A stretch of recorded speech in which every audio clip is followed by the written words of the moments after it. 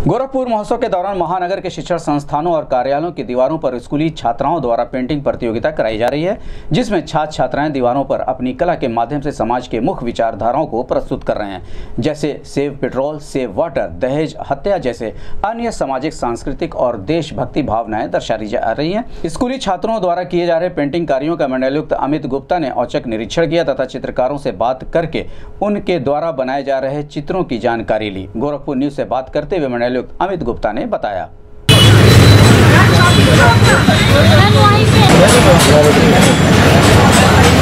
उधर वाली हाँ उधर वाली दीवार तो अंदर पड़ जाएगी नहीं नहीं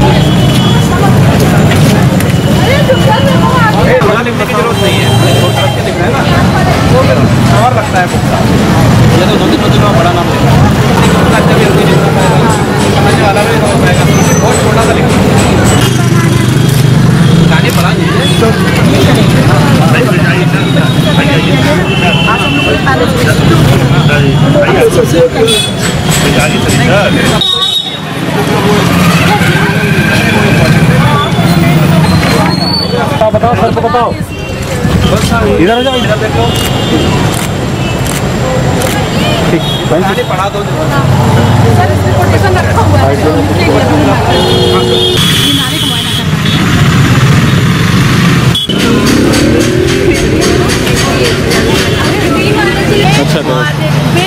बेजोड़ शादी।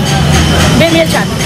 मतलब जोड़ की शादी ना हो। देखिए यहाँ शिक्षा विभाग का कार्यालय भवन भी है और मुंशी प्रेमचंद जी का पार्क भी है यहाँ।